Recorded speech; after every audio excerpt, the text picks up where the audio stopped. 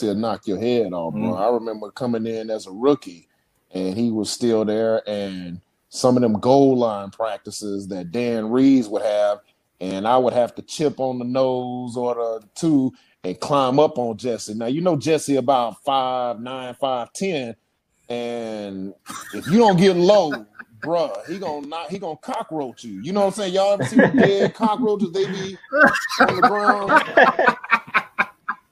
Man, dog, like I remember I like love my first couple times hitting him. Now you know I'm I'm playing with a lot of fire, trying to make the squad. So I'm like, man, yo, if I if I can get the hammer up out of here, you know, you know, I'll look good on tape. Man, that Joker's so strong. Y'all, y'all don't understand how strong he is, man. And this was year 14 for him, right, Drive? This was year 14.